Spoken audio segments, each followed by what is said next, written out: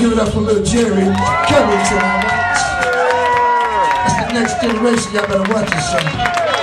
Michael Jackson might in trouble.